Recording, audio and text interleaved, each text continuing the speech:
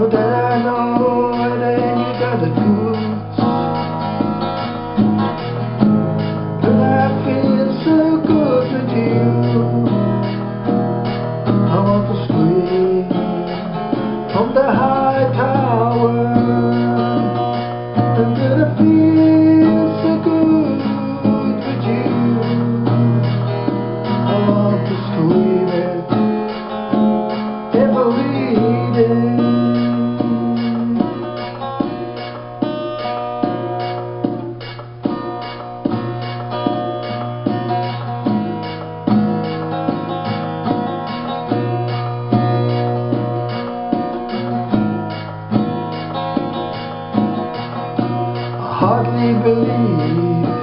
I miracle.